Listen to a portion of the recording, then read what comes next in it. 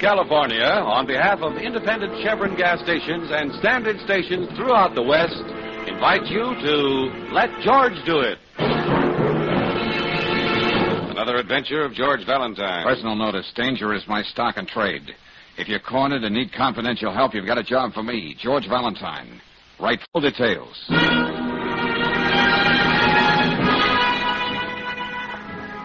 Dear Mr. Valentine, I've loved a man now for many years, a hopeless love. Because you see, I'm his wife's best friend. He says we must be together at all costs. And I know that would almost certainly mean her death. I couldn't build any kind of happiness on that. I have an answer, but I need your help to carry it out. I need your help to carry it out. Could you be at my apartment tomorrow morning? Signed, Joyce Dunning. Husband, wife, best friend. The time-worn triangle, Brooksy. Yes, but something new's been added, darling. Hmm? Oh, you mean the oversensitive conscience? Mm-hmm. The superfluous member of the triangle doesn't, as a rule, get such consideration, especially from the rival female in the case. I wonder if Miss Dunning's reference to death could be a refined way of hinting at murder. Oh, some women have been known to just turn their backs and let mayhem happen. Oh, oh now you're being cynical, Angel. No, dear. I've just spent a lot of time in powder room. Oh. Well, anyway, our friend has her own answer, and I seem to fit into it. I hope that isn't a refined way of saying, welcome, sucker.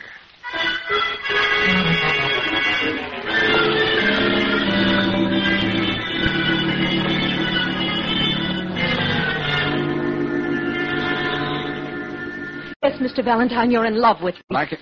I am. He is. It's obvious to everybody. Your every action must show it. Oh, now, just a minute. Oh, Miss don't you see? It's the only way. I've got to make Lawrence despise me. Uh, Miss Dunning, I'll admit Mr. Valentine has certain qualities that might arouse jealousy in other men. Thank you. But uh, just why are you going to going to all this trouble? As a stand-in Romeo and potential punching bag for your Lawrence, I'd like to know that, too. Lawrence Putnam isn't an easy man to convince. That's why it must look like the real thing between you and me. Oh, wait a minute. Hold on. Did you say Putnam? Oh, yes. I suppose you've heard of him. Oh, yeah. Lawrence and Bernice Putnam. In deepest Africa, in fabulous Somaliland, in timeless Tibet. Lawrence and Bernice Putnam, one of the ideally mated couples of our time, sharing adventure and romance side by side. But he loves me. And for years I've fought against my love for him. But it's there. and, uh, Bernice Putnam? She doesn't know. And she mustn't know, ever. Well, she doesn't sound like the kind of female who'd keel over when she found out her husband had fallen in love with another woman. If she found out, it would mean her death. What? Yeah, you mentioned that in your letter, Miss Dunning. Now, what's it supposed to mean? Bernice's heart. Dr. Llewellyn, the family physician, told Lawrence a few weeks ago just how bad it is. I see. Almost any kind of exertion or shock might mean. Anyway, you can imagine what would happen if Lawrence told her he wanted to be free to marry me. Uh huh. And you think that if you and I were seen going places and doing things, people would say we're in love. Especially Lawrence. I am Bernice's best friend. And she needs Lawrence now, even more than I do.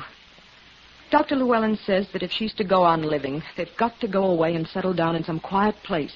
You know, on a farm or a small town. Well, not a very easy change for either one of them. Bernice knows she has to do it, and she's positive Lawrence loves her enough to go along with her. If it's the last thing I do, I've got to make it work out that way. Well, have you tried breaking off with Putnam? Women usually know how to imply. I've tried everything. Lawrence just thinks I'm being noble about Bernice. That's why I've got to make him believe there's someone else. Well, now look, this deal, Miss Dunning, it's way out you of my can't line. turn me down, Mr. Valentine. It means her life. Well, I. You understand, don't you, Miss Brooks? Yes, I believe I do. You're trying to do a pretty decent thing. Okay. Well, how do we work this? Well, tonight, for instance. Yeah? Lawrence is meeting a circus man for dinner at the Croydon. He's selling some of the animals from his last expedition. He keeps them on his estate at Mount Webster. And? Lawrence doesn't think I know about the appointment. So if he saw us there and we were playing our parts, it might help bring this thing to the head. Convince him that I'm I'm only thinking of myself. Okay, Miss Dunning, okay. But as I said before, this is something new for me, so I may need a little coaching. But I'll keep Tyrone Power in mind and do my best.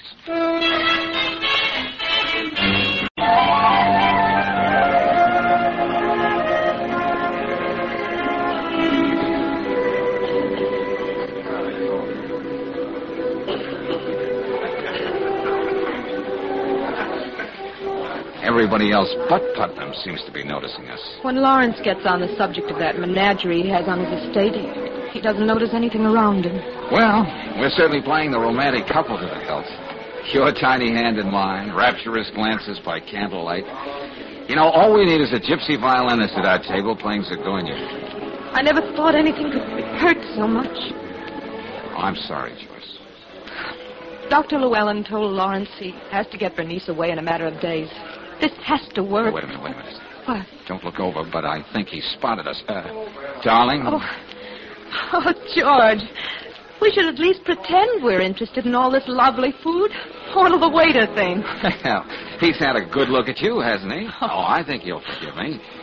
You are beautiful tonight, Joyce. Oh, if I hadn't told you just a few minutes ago how much I loved you, I'd say it again.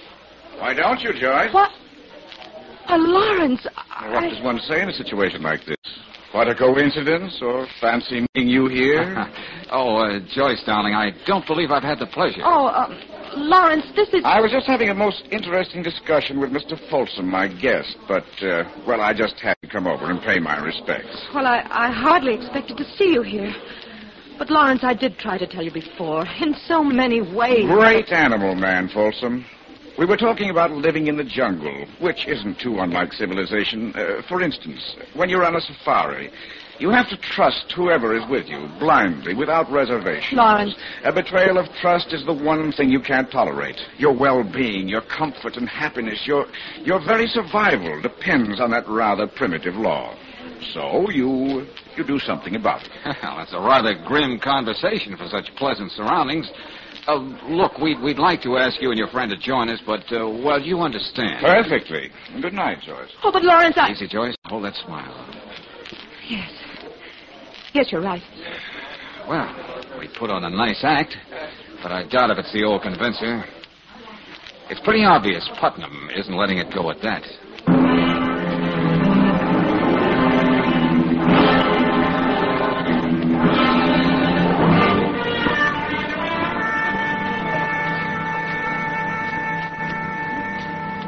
Brooks, I believe? Why, yes, but Mr. Valentine isn't here. I know. I made sure of that. What? I waited uh, till I saw him leave the building. Oh, I'm afraid I don't understand. I'm Lawrence Putnam. Oh, yes, of course. I should have recognized you from your picture. Miss Brooks, how much is Joyce Dunning paying Valentine to help her stage this phony romance? What are you talking about? Please, please. I, I've taken the trouble to find out all about Valentine and this uh, unorthodox business he's in. What? Yes, yes, and I've also learned that he's not just your boss. He means a great deal more to you than that. I don't see where that's any of your business. Everything about Valentine is my business now. Oh, I- I'm sorry. George might have meant something to me once, but in the last few weeks, all that's changed. Oh? I don't know where he met Miss Dunning, but I know he hasn't been the same man since.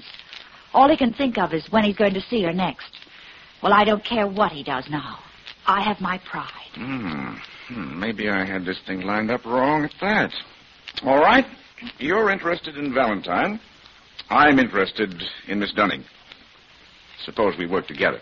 Oh, I'd be willing to do almost anything. Good. Now, why don't you tell Valentine that I feel very bad about my rudeness at the Croydon last evening? I'd like him and Joyce to spend the weekend at our place on Mount Webster. And uh, while I was here, I suggested that you come along, too.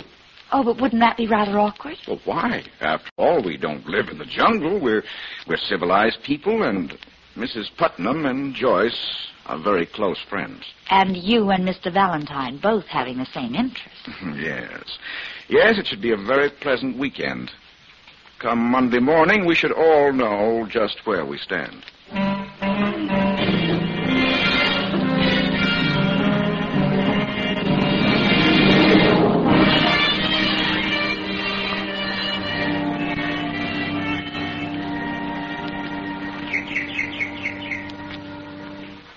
Bernice, are you sure it isn't too cold for you out here on the terrace? Oh, now, Joyce, you stop pampering me.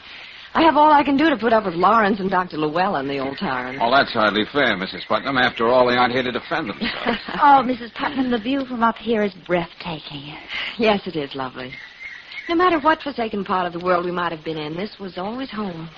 although some people refer to it as the Putnam Zoo. It's not easy for Lawrence to be giving it all up. Oh? Then he has decided. Yes. He's selling some of the animals to circuses and others to zoos. Then we'll. we'll just be two homebodies.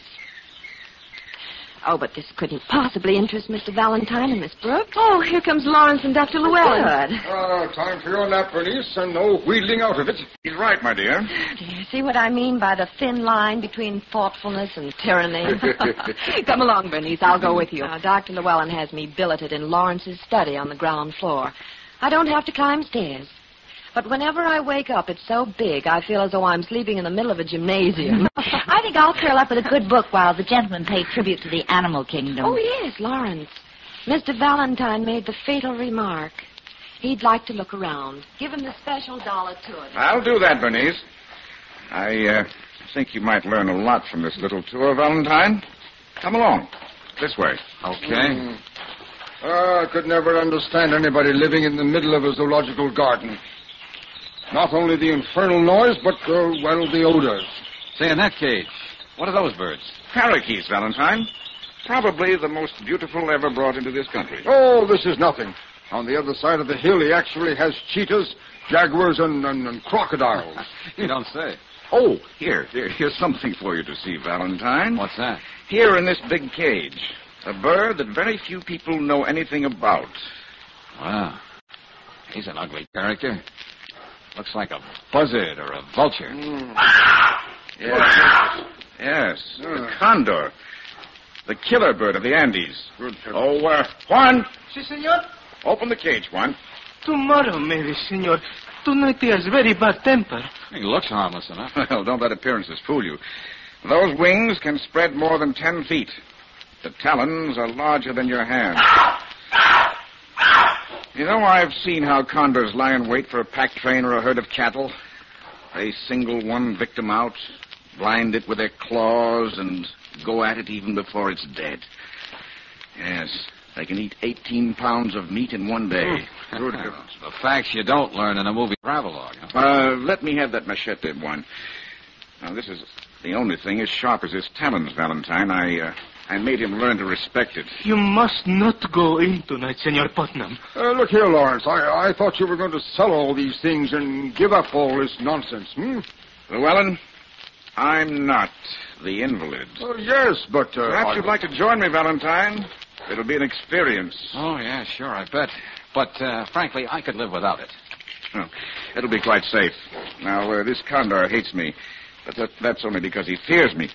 You'll be safe, unless, of course, your taste runs to uh, parakeets or canaries.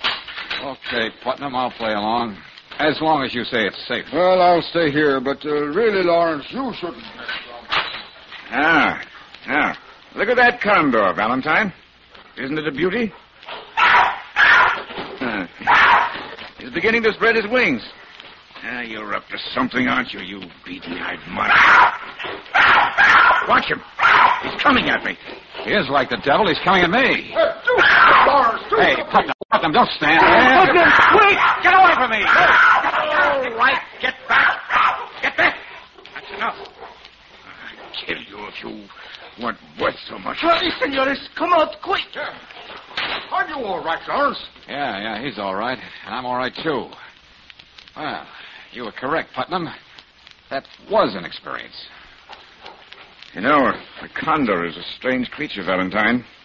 This is his cage, and he resents it when somebody threatens what he's claimed for his own. That was pretty obvious.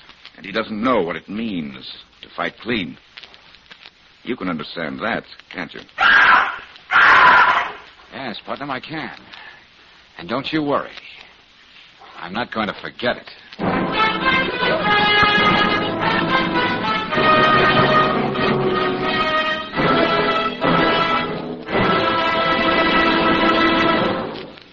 Return to tonight's adventure of George Valentine in just a moment.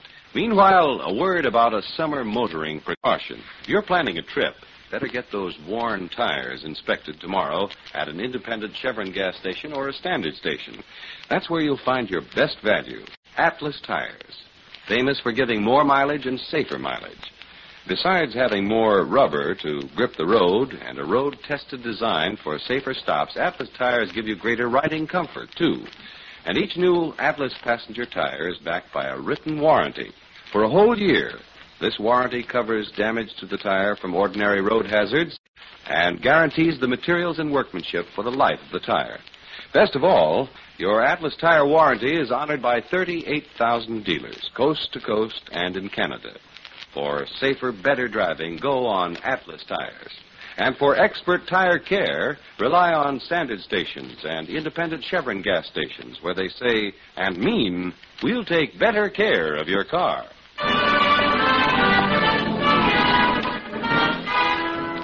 Now back to tonight's adventure of George Valentine. And if you were in George's place, here's the situation you'd be facing. A lady asks you to help break off a hopeless love between her and the husband of her best friend. Pretty corny, you say. But then she explains that the wife has a heart condition. The shock would most certainly kill her. So you pretend to be the man who supplanted the husband in your client's affections. But then there's a thinly veiled threat from the husband. He won't hesitate to kill you if you stand in his way. Still, being as stubborn a character as George Valentine, you play along even though you can't help asking certain questions, such as. Hey, Putnam, isn't this a lot of trouble to climb all the way to the summer house just for a cup of tea? Oh, it'll be worth it, Valentine. From the upper terrace, you can look down and see all the trophies of a lifetime. Birds and animals you've risked your life to find in every corner of the world. Oh, take it easy, Lawrence. It's a steep climb, and there's not that much of a hurry. Uh, Dr. Llewellyn, Oh. this has been my whole life. This one last look before I give it all up means a great deal to me. Are you all right, Bernice? Yes, dear, fine. Joyce and Miss Brooks said they'd have tea already when we get there. And Joyce promises a special surprise. Wonder what it could be. What's the matter with you people? Tea's getting cold. Yeah, we're coming, Brooksy. We set the table up right out here on the porch. Oh, it's beautiful, Joyce. And all these flowers. Why, this must be an occasion. It is. Please, Miss Brooks, will you help me serve? Of course. I feel like a romantic schoolgirl, but I know you've already guessed, Bernice. And the rest of you will find out anyway. Yes, Joyce. I'll never know how it really happened. Just what is it that makes two people suddenly realize they're in love, George? Oh, I I suppose you just call it the sweet mystery of life or something like that. What I'm trying to say, everybody, is that George and I are engaged to be married. Lawrence. Uh, just not used to such world-shaking announcements. I'm sorry. Um, let me be the first to congratulate you both. Oh, thank you, Brooksy. I know how much you mean it. Uh, my best wishes, of course. Well, isn't it wonderful, Lawrence? Just the thing we've always wanted for Joyce. Yes. Lawrence, where are you going? What's the matter? Lawrence!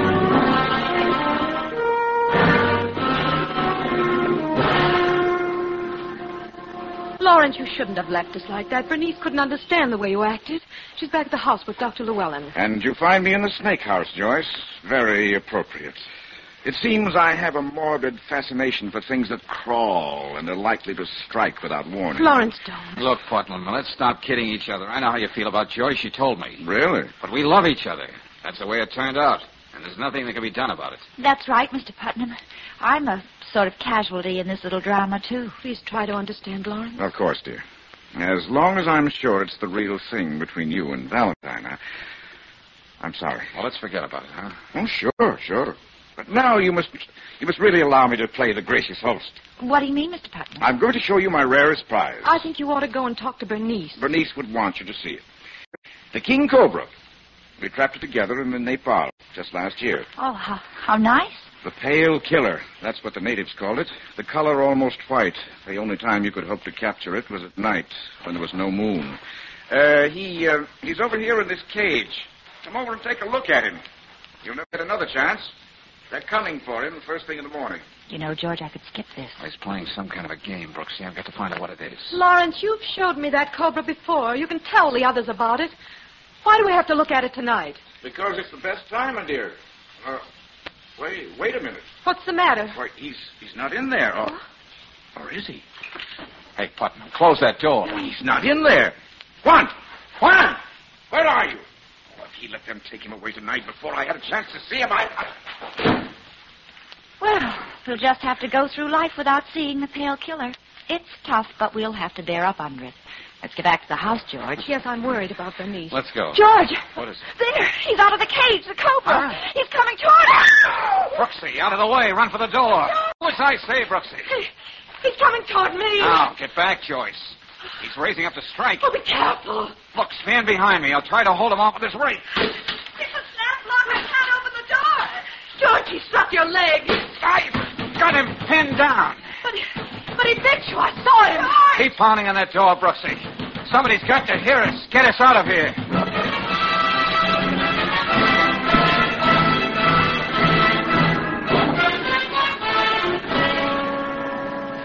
Uh, it's about time you stopped, Lawrence. This man might die. Don't just stand there like that. Lawrence, you certainly must have an antidote for something like this. But there's really no need for all this excitement. Glad What? you think so. Well, but how can you talk like that? Can't you see? What are you saying? I thought I mentioned it, Miss Brooks.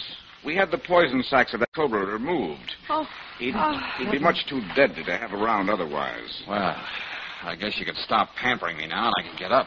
Yes, I'm sorry about this, Valentine. I, I could have sworn the cage was empty. That cobra must have been coiled up in a dark corner. Uh-huh. I heard all the commotion in the snake house. When I looked in, I saw you, Valentine, get Miss Brooks out of danger and then go to Joyce's rescue. You saw all that? But why didn't you do something? yes, Lawrence. As I said, I thought I told you the snake was harmless. I uh, I did open the door as quickly as I could. Yeah, Oh, thanks. you could have saved us all a lot of worry if you weren't more concerned about getting that cobra back in his cage. well, it's all over now, Doctor, and the best thing for all of us would be to turn in. Oh, uh, oh yes, Doctor. Hmm? On the way to my room, shall I stop in and give Bernice those pills for her heart? Uh, I, I've done that, Lawrence. Uh, she's probably fast asleep. Oh, it's a good thing, too, considering all this excitement. Mr. Putnam, I suppose this little incident should make a chapter in the next book you write. Well, you may have something there, Valentine. It, it was quite an experience. The kind of experience we learn a lot from, whether we realize it or not.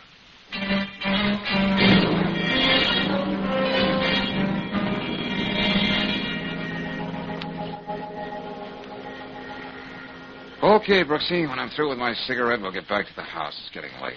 George, I'm afraid. Oh, no, no, Angel. Well, he's such a strange man. Can't tell what he might be up to next.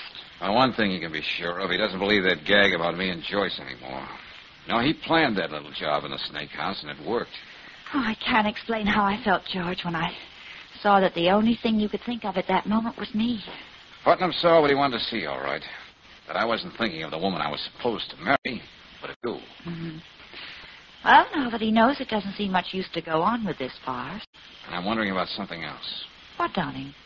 Now that Putnam knows that Joyce went to all this trouble of hiring me because she loves him so much, what is he going to do about Bernice?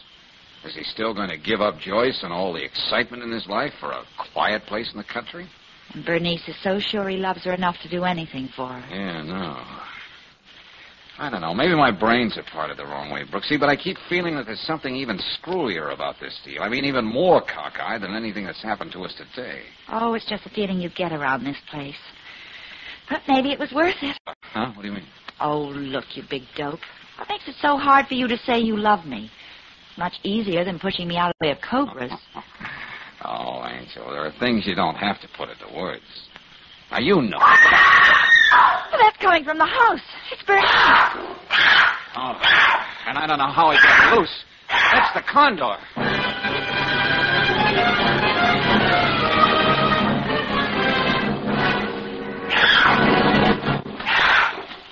Lawrence! Lawrence, don't go so near him. Watch your eyes. Thought I taught you to fear me. Bernie, Bernie, get into the house. So you finally found a way to escape. Lawrence, look out. Don't try to fight him. And your hate even led you right to my room, didn't it? Putnam! Putnam, don't be a fool. You can't fight this thing off with a chair. Stay out of my way, Valentine. I've listened to you enough today. This is the only way to handle a killer like this. Oh, is he? Yeah, yeah. Now we know what a dead condor looks like. Oh, God. Look, go on over and take care of Bernice. Yes, George. I'll get Dr. Llewellyn the shot. What in heaven's name is... Yes, what's happened? Fortunately, nothing, Joyce. That bird never had the chance to touch him. But Dr. Llewellyn. George. Lawrence, on the floor like that. Huh? Oh, Lawrence, oh, my God. But I told you the bird never got to him. Bernice, Lawrence is dead. What's that? Oh, He was trying to save me. But how, Dr. Llewellyn? Why? Uh, I guess all our deception didn't work, Bernice. Deception? What do you mean, Doctor? Uh, we knew Lawrence would never give up the kind of life he wanted and needed, not for himself. He would do it for Bernice. Dr. Llewellyn. Yes, uh, you see, it was uh, Lawrence whose heart was so bad.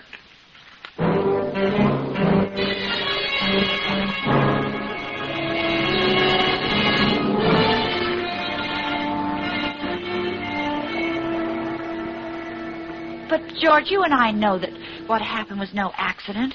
Putnam wasn't that rude to save Bernice. That's right, Brooksy. And he was hoping the shock of waking up in a room with a condor would be enough to finish off his wife.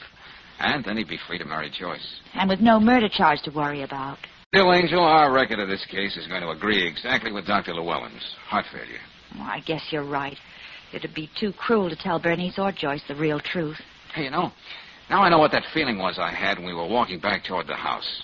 Dr. Llewellyn always worried about Putnam overexerting himself, like in the condor cage. That's right, of course. For the sake of appearances, Dr. Llewellyn had Bernice take the room downstairs so she wouldn't have to traipse up and down.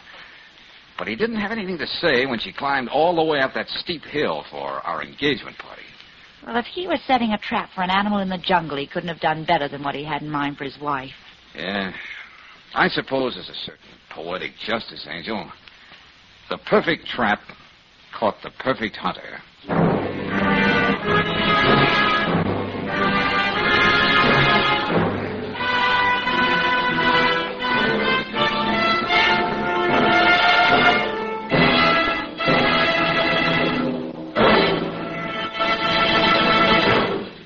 Maybe you've run into the kind of motorist who always says, grease is grease, and it doesn't matter where you take your car for lubrication service. Well, don't you believe him.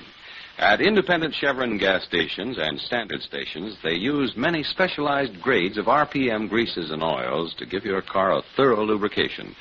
And each one is tailor made to do a wear saving job at some vital wear point on your car.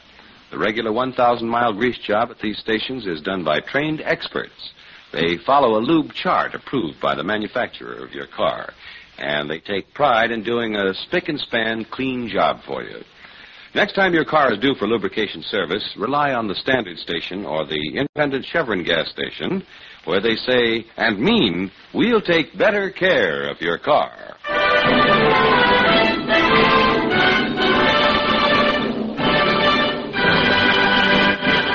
Next week, when you tune our way for another adventure of George Valentine, you'll hear George sing. Take another look down the highway, Brooksy. What do you see? A pretty highway. Yeah. One lane going east, the other going west. Uh-huh. And an island of trees in the middle. Yeah. Joe Logan left this place and started to walk down the highway on the right-hand side, walking toward the Half Moon Motel, not away from it. Well, if you're right, George, Logan never even got there to kill Potter. Which should simplify things for us, but it doesn't. I've got a hunch whoever killed Potter ran Logan down. And, Brooksy, that's what we've got to find out.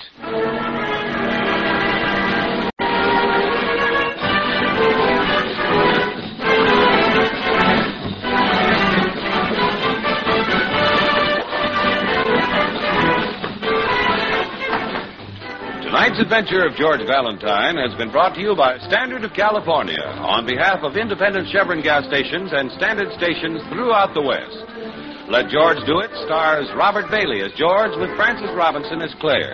Tonight's story was written by David Victor and Herbert Little Jr. and directed by Don Clark. Also heard in the cast were Jeanne Bates as Joyce Dunning, Ted Elst as Lawrence Putnam, Dorothy Lovett as Bernice Putnam, Herbert Rawlinson as Dr. Llewellyn, and Don Diamond as Juan. The music is composed and conducted by Eddie Dunstedter. Your announcer, John Heaston. Listen again next week, same time, same station, to Let George Do It.